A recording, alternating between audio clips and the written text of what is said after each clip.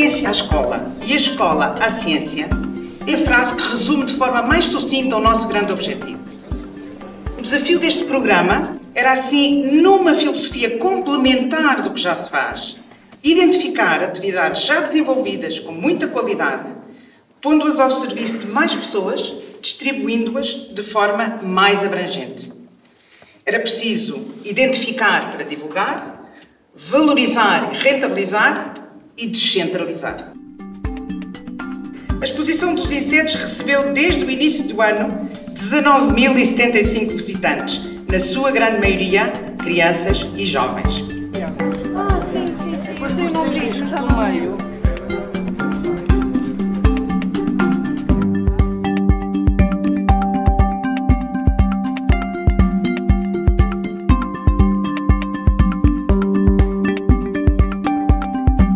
Grande obrigada a todas as escolas que receberam e dinamizaram a exposição.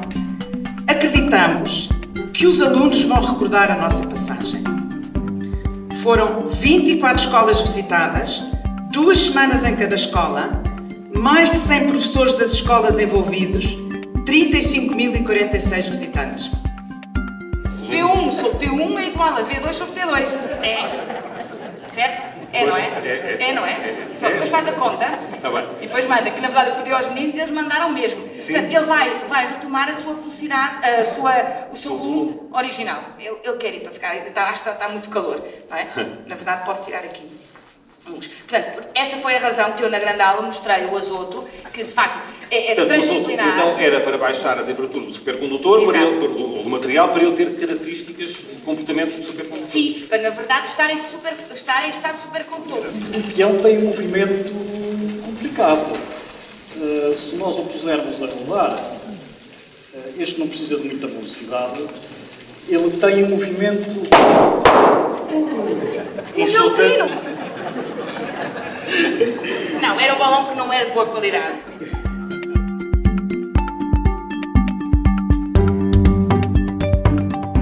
Todos os cientistas falaram sobre aquilo que os apaixona. Para uma grande audiência, entre 200 a 300 alunos, num ambiente de festa na escola. Foram 15 escolas visitadas, 13 cientistas envolvidos, cerca de 3.500 alunos presentes numa aula. 13 perguntas intrigantes que se respondem com ciência e que foram objeto do concurso foram um estímulo para 15 cientistas, matemáticos, físicos, químicos, biólogos, geólogos, neurocientistas, responderam ao desafio. A todos, quero agradecer publicamente esta colaboração que seguramente estimulou os nossos concorrentes nas escolas, o objetivo último desta atividade. Foram 13 perguntas, 18 escolas participantes, 101 vídeos resposta enviados a concurso, 52 equipes diferentes.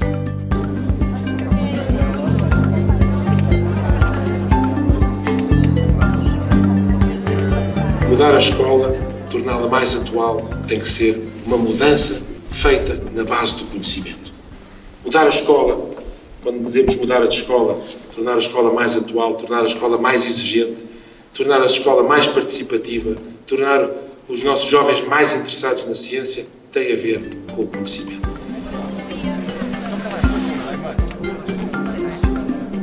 Mais força. Isso. Portanto, é mande para mim. Mande Vá. Não se sente melhor? Vitalizada. Só pelo facto de vermos um vídeo. Uau!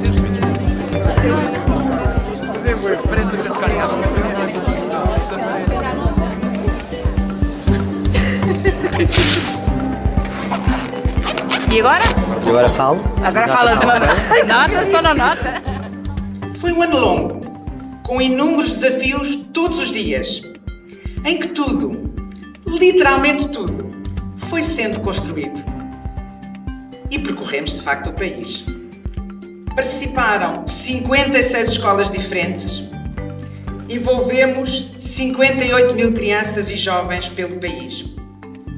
Obrigada aos cientistas que participaram, Obrigada a todos, sem exceção, que trabalharam para que isto pudesse acontecer, mas, sobretudo, obrigada às escolas. Os nossos alunos merecem o que de melhor consigamos dar-lhes. consciência. Muito obrigada.